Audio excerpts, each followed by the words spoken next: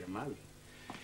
Quello che mi dà noia è lo spettacolo che tutti noi diamo di noi stessi per il bene dei due giovani emissari di destino. E di chi è la colpa? Non importa di chi è la colpa. Non mi sono mai sentita così a disagio, è semplicemente orrendo. È peggio, è sciocco, è puerile e manca di dignità. Non è la sola cosa a mancare. Pubblichino pure quello che vogliono su di me. E io invece lasciano- dico che non pubblicheranno proprio un bel nulla su nessuno di noi. E come conti di impedirglielo?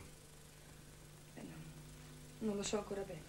Intanto trovo sia giusto informare Connor e la fotografa che siamo tutti perfettamente al corrente dello scopo del loro soggiorno qui.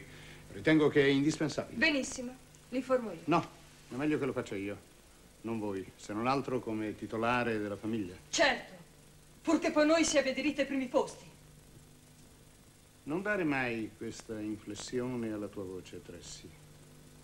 Non ti dona affatto. Ah no. E la signorina Mara? Che inflessione di voce ha? Fa sempre le fusa. Stai zitta. Non lascia stare, Margaret. Bassa e calda, vellutata, molto signorile, suppongo. Hai un bel diritto, tu. Dopo il modo con cui hai trattato la mamma. Dopo il modo con cui hai trattato tutti noi, un bel diritto davvero di venire qui co- con, quel tuo atteggiamento altezzoso, distinto, a, a prendere posizione, a criticare il mio fidanzato, a far confusione, proprio come se tu avessi... Smettila, Tracy! Non ne posso fare a meno, è